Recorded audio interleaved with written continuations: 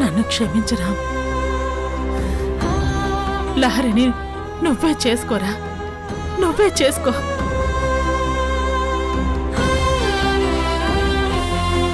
అది సరే గాని ఎంత కావాలి? కోట? రెండు కోట్ల? పద? ఇరవయా? ఓ యాభై. రామ్ యాభై లక్షలు తీసుకెళ్ళి వెంటనే చంద్రకళకి ఇచ్చేసి శంకర్ని తీసుకొచ్చారా? మనకంత వాల్యూ ఉన్న ప్రాపర్టీ కూడా లేదు. మరెక్కడి నుంచి తెచ్చావమ్మా? రామ్ ఇవన్నీ నీకు నేను తర్వాత చెప్తాన్రా. ముందు నువ్వు వెళ్ళి చంద్రకళని కలువు. అది కాదమ్మా. రామ్ నా మాట విను. నువ్వు శంకర్ని తీసుకొచ్చాక నేను జరిగిందంతా నీకు ఎక్స్ప్లెయిన్ చేస్తాను. ముందు వెళ్ళరా. నువ్వు వెళ్ళి శంకర్ని డైరెక్ట్గా ఇంటికే తీసుకురా. వెళ్ళరా. మళ్ళీ చంద్రకళ అన్నంత పని చేస్తుంది. వెళ్ళు.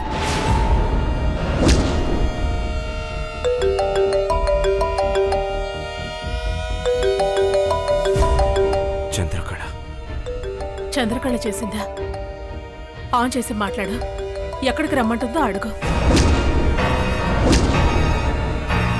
రామ్ ఏం ఆలోచిస్తున్నావురా? ఆన్ చేయి. ఏది? ఆ ఫోన్ మ్మ్. మాట్లాడు. హలో? ఏసీపీ గారు? హలో? మాట్లాడరా. హలో ఏసీపీ గారు? హలో చంద్రకళ. ఏంటి? ఫోన్ ఆన్ చేసి మాట్లాడట్లేదు? డబ్బులు ఇంకా అరేంజ్ చేయలేదా? డబ్బులా? చెప్పు రామ్ రెడీ అయిపోయాని చెప్పు. ఎక్కడికి తీసుకురమ్మంటుందో అడుగు. ఏంటి? రెడీ అయిపోయాయా? అయితే వెంటనే భీమ్లీ నుంచి సిటీకి వెళ్ళే రోడ్లో కొత్తగా కన్స్ట్రక్షన్ జరుగుతున్న బిల్డింగ్ ఉంది. ఆ బిల్డింగ్ దగ్గరికి డబ్బులు తీసుకునిరా సరేనా? బాయ్.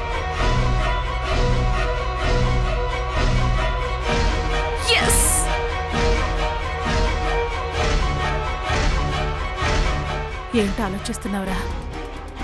వెంటనే బయలుదేరు. వెళ్ళు. కానీ ఈ డబ్బు రామ్ నీకు లహరి కావాలా వద్దా? వెళ్ళు రామ్. ప్లీజ్ వెళ్ళు.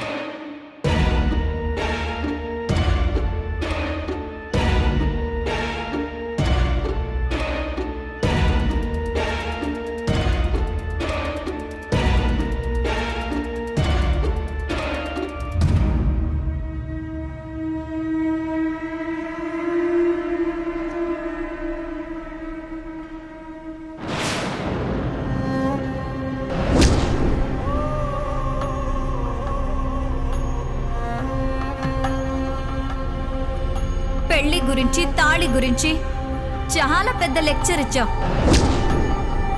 మరి అదే తాళి మెళ్ళో ఉండగా పరాయి మగాడితో కలవడానికి వెళ్ళడం? నువ్వు ఒట్టేసిన ఆ పసుపు కుంకాల మీద నీకే మాత్రం గౌరవం ఉన్నా? ఆ తాళి తీసే తీసే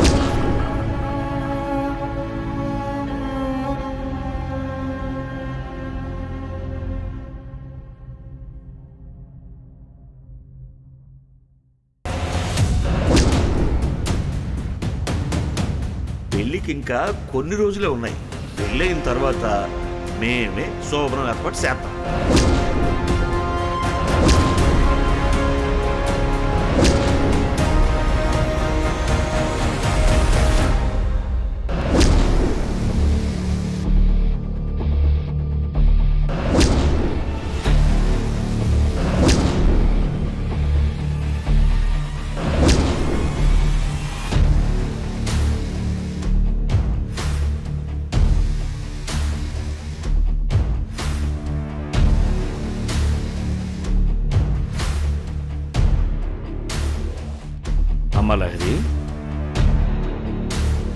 మావయ్య గారు?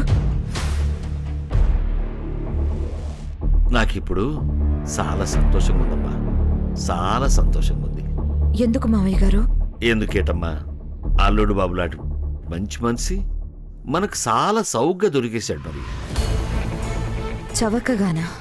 అవునమ్మా సౌగ్గానే మరి అల్లుడు బాబు లాంటి గొప్ప పదవిలో ఉన్నాడు అంత మంచి మనసున్నాడు ఇప్పుడు మార్కెట్లో కనీసంలో కనీసం కోటి రెండు. రెండు కోట్లు ఎడితే గాని దొరకట్లేదు మరి. అంటే మీరనేది కట్నం గురించా? అవునమ్మా కట్నం గురించే.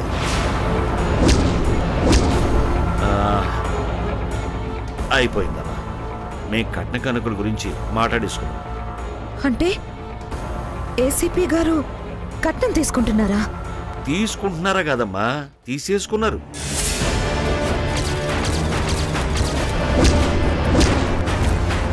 ఇందాకే అల్లుడు బాబు గారు వాళ్ళ అమ్మగారు వచ్చి అన్నీ మాట్లాడుకుని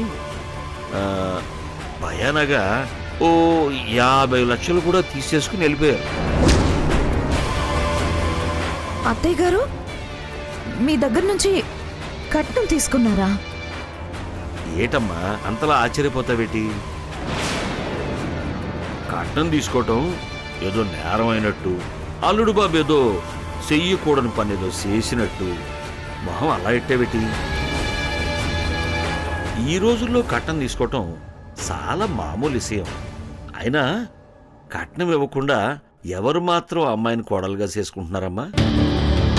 బా వాళ్ళు చాలా మంచి మనుషులు కాబట్టి చాలా మర్యాదగా పద్ధతిగా ఇంటికొచ్చి నన్ను మాత్రం ఒంటిగా కలిసి కట్నం గురించి మాట్లాడారు.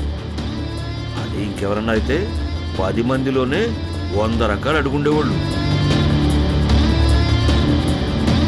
ఆ, ఇంతకీ నేను ఇప్పుడు నీ కాడికి ఎందుకు వచ్చానంటే ఆ, అల్లుడు బాబుకి కొంచెం మొగమాటం ఎక్కువ.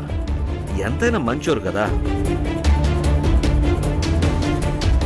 ఆ మొగమాటంతో పాపం ఆయనకి ఎన్నో అడగాలనున్నా ఏమీ అడగకుండా లోపలే దాచుకుని ఉండిపోతారు అలా ఉండటం మనకు మంచిది కాదమ్మా. ఎంతైనా ఆడపిల్లళ్ళం కదా.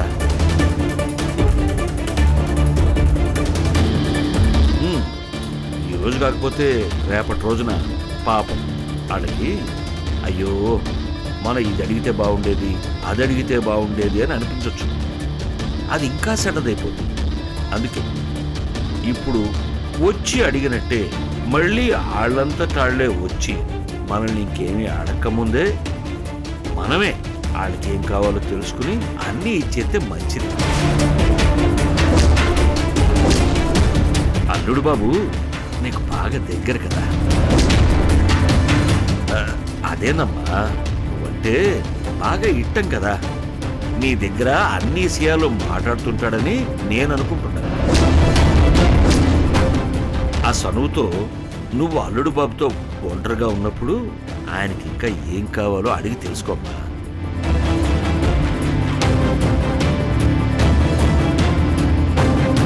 బంగారం కావాలా? బంగ్లాలు కావాలా? భూములు కావాలా? ఏం కావాలో తెలుసుకుని నాకు చెప్తే నేను అవన్నీ ఏర్పాటు చేసేస్తాను. ఏమ్మా? సరేనా? ఏది ఎలా జరిగినా నాకు నీ సంతోషమే ముఖ్యం. నీ నవ్వు ముఖం ముందు ఎంత ఆస్తైనా దిగదుడిపానమ్మా అందుకే నీ సంతోషం కోసం నేను సగం ఆస్తే కాదు శాంతం ఇచ్చేసి సరాసరి రోడ్డు మీద నిలబడ్డానికైనా సిద్ధమే. ఏమ్మా మరి ఒకసారి మాట్లాడి చెప్తావు కదా? మర్చిపోకు. మరి నేను వెళ్తాను కొంచెం డబ్బు పోగేసుకోవాలి కదా. నేను ఆ పనిలో ఉంటాను. నువ్వు నీ పనిలో ఉండమ్మా.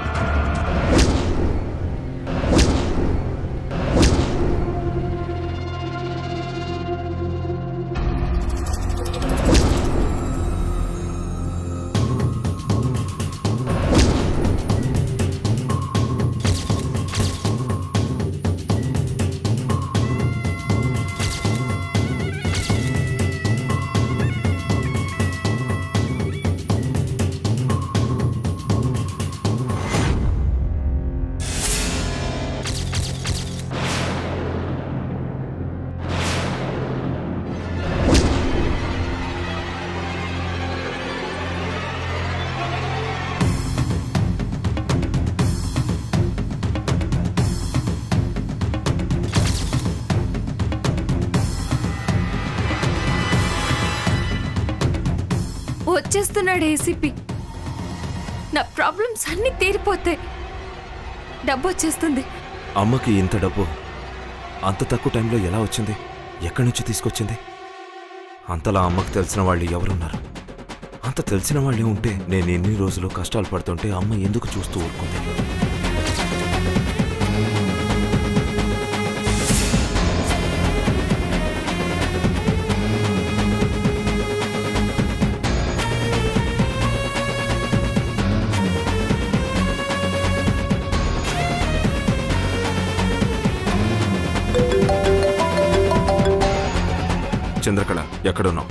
తలపైన.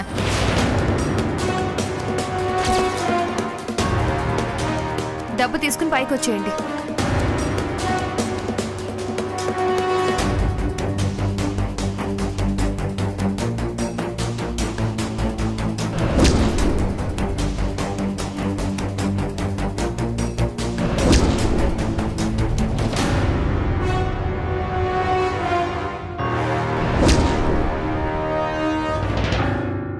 వచ్చేస్తున్నాయి. యాభై లక్షలు వచ్చేస్తున్నాయి. యాభై లక్షలా? కాదు కాదు. నలభై తొమ్మిది లక్షల తొంభై తొమ్మిది వేలే. మరి కిరాణా షాప్ వాడికి ఇచ్చాడు కదా. అంతే.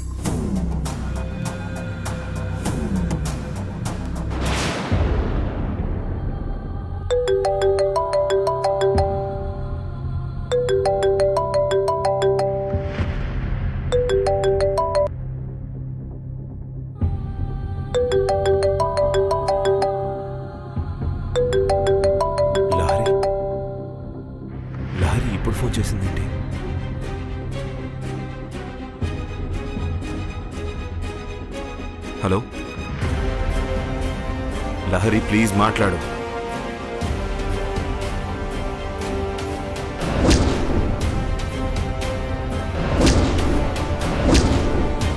ప్లీజ్ లహరి నువ్వు అలా జరిగిందాన్ని మైండ్లో పెట్టుకుని. అసలు మీ గురించి మీరేమనుకుంటున్నారు?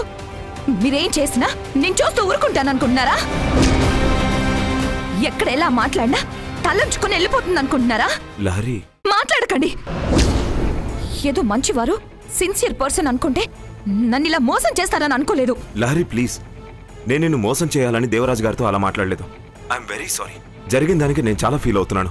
కానీ ఆ టైంలో నాకు వేరే దారి ఇంకా అనిపించలేదు. నేను ఆ గెస్ట్ హౌస్ గురించి మాట్లాడట్లేదు. ఇప్పుడు మీరు చేసిన దాని గురించి మాట్లాడుతున్నాను. ఇప్పుడు ఇప్పుడు ఏమైంది? చేసిందంతా చేసి ఏమీ తెలియనట్టు నాటకం ఆడుతున్నారా? నాటకమా? నాటకం ఏంటి? నేనేం చేశాను? ఇవన్నీ కాదు. అసలు మీ ఉద్దేశం ఏంటి? అది క్లియర్గా చెప్పండి. నిజంగా నన్ను పెళ్ళి చేసుకోవాలని ఫిక్స్ అయ్యుండే మీరు ఇవన్నీ చేస్తున్నారు కదా? లహరి. అవును. నాకు ఇప్పుడు అర్థమవుతుంది. మీరు నన్ను పెళ్ళి చేసుకోవాలని ఫారెస్ట్ గెస్ట్ హౌస్లో మావయ్య గారితో అలా చెప్పారు. లహరి ప్లీజ్. నేను చెప్పింది అందుకు కాదు. అసలు అలాంటి ఉద్దేశం నాకెప్పుడు రాలేదు. నిజంగా అలాంటి ప్లాన్ ఏమీ లేదు. నేను వచ్చింది వేరే ఆలోచనతో. ఆపండి రామ్. నిజంగా మీరు నన్ను పెళ్ళి చేసుకోవాలని ఫిక్స్ అవ్వకపోతే కట్నం ఎందుకు అడుగుతారు? కట్నమా? నేను కట్నం అడగడం ఏంటి?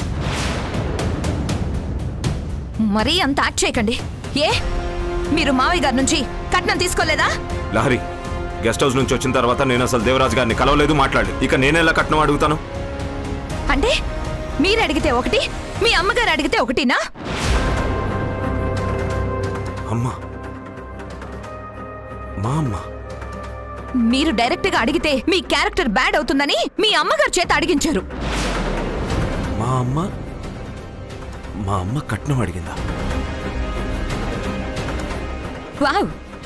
నన్ను నమ్మించాలని ఇంకా ట్రై చేస్తున్నారంటే మీరు నిజంగా గ్రేట్. లహరి ప్లీజ్. నిజం. నిజంగా నాకేం తెలీదు. మీకు తెలియకుండా మీ అమ్మగారు ఏ పని చేయరు. అలాంటిది యాభై లక్షలు కట్నం తీసుకుంటే మీకు తెలీదంటే నేను నమ్మాలా?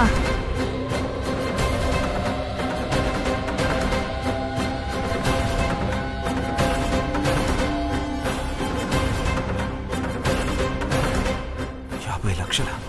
ఓ కట్నం తీసుకుని నాకు సెటిల్ చేస్తున్నారన్నమాట. Good very good. ఎలాగైతేనే డబ్బులు నాకు వస్తున్నాయి నాకది చాలు. చెప్పండి.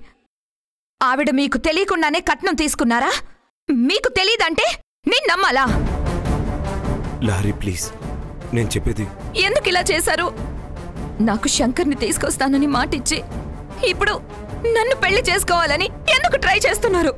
నేను ట్రై చేయడం కాదు లహరి. నిజంగా మన ఇద్దరి ఇష్టంతో ఈ పెళ్ళి జరిగినా నేను కట్నం మాత్రం ఒక్క రూపాయి కూడా అడగను. వద్దనే చెప్తాను. అంత వద్దనే వాళ్ళే అయితే ఏదో ఒకటి చెప్పి మీ అమ్మగారిని ఆపేవారు. అరే మా అమ్మ అసలు దేవరాజ్ గారి దగ్గరికి కట్నం కోసం వచ్చిన విషయమే నాకు తెలియకపోతే నేనెలా ఆపగలను లహరి? మీకు తెలీదు అంటే నేను నమ్మను. Hello Lahari hello.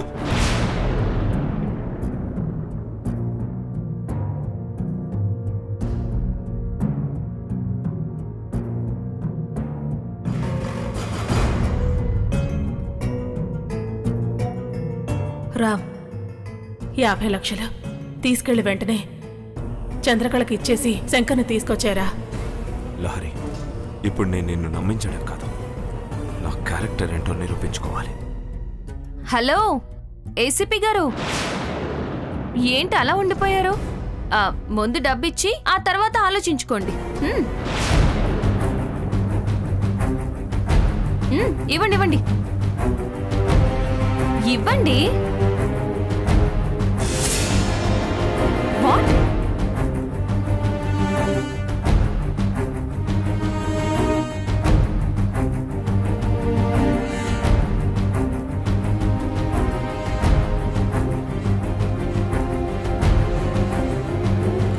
గారు ఏం చేస్తున్నారు? ఏసీపీ గారు ఆ డబ్బులు ఇటు ఇవ్వండి. మర్యాదగా చెప్తున్నాను ఆ డబ్బులు ఇటు ఇవ్వండి. ఏసీపీ గారు ఏసీపీ గారు ఇప్పటికే చాలా రోజులు వెయిట్ చేస్తాను ఏసీపీ గారు ఇక నా వల్ల కాదు ఆ డబ్బులు ఇచ్చేసి వెళ్ళండి.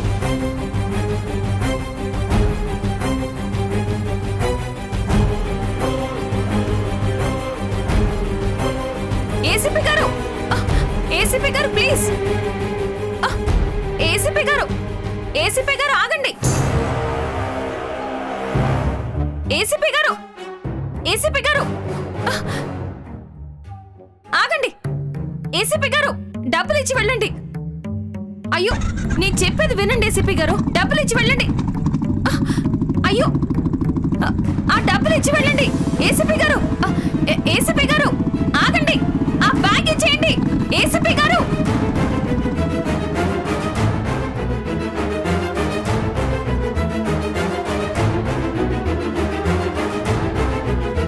ఏంటి ఈయన? ఏసీపీ ఎందుకు ఇలా చేశాడు? ఏమై ఉంటుంది? హ, మళ్ళీ నా ప్రాబ్లమ్స్ మొదటికొచ్చాయి.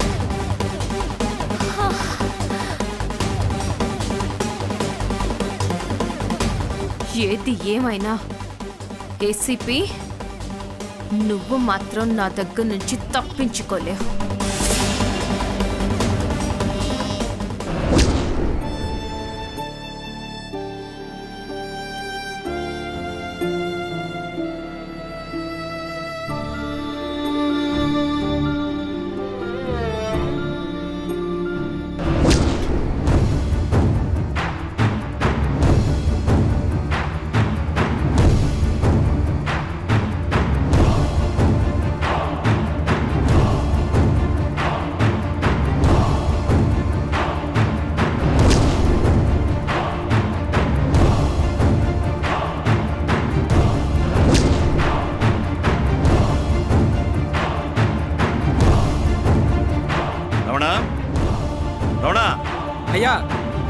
వెళ్ళాడయ్యా సరే గాని నువ్వు వెళ్ళి ఓ సెంబెట్ సల్ల తీసుకురా అట్టగే అయ్యా. ఆ. అల్లుడు బాబు? అల్లుడు బాబు రండి రండి.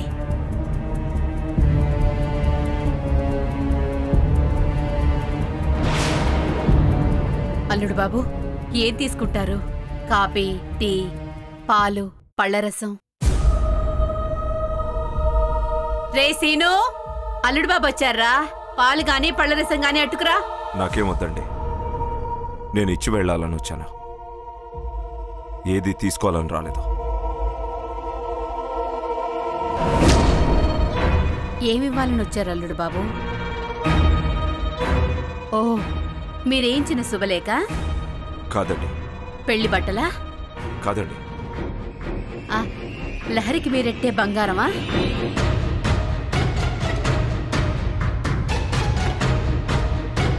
లేదండి.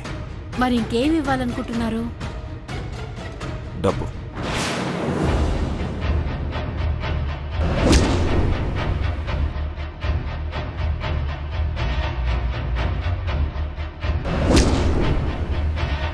డబ్బా?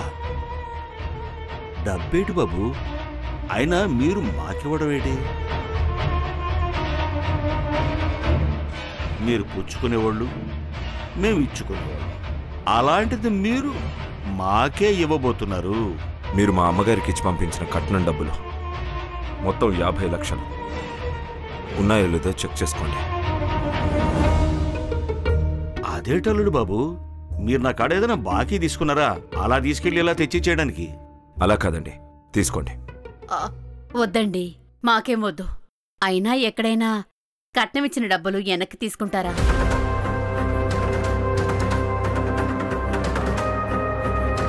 దేవరాజ్ గారు మా అమ్మ ఏదో వేరే ఆలోచనలో ఉండి మిమ్మల్ని కట్నం డబ్బులు అడిగింది. వేరే ఆలోచన? వేరే ఆలోచన ఏంటి బాబు?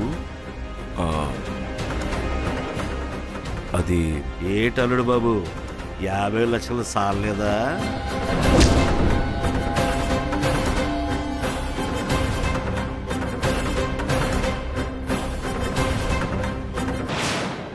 నీ కూతుర్ని ఒళ్ళు పట్టమను. రే రమణ అది ఆడపిల్లరా?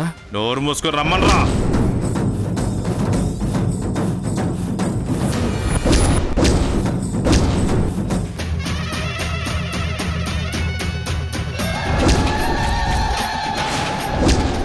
సైలెంట్గా ఉన్న సింహం రెండు అడుగులు వెనక్కి వేస్తే ఓడిపోయిందని కాదురా. ఓపికతో వెయిట్ చేస్తుందని అర్థం వేటాడడానికి దూకబోతుందని అర్థం.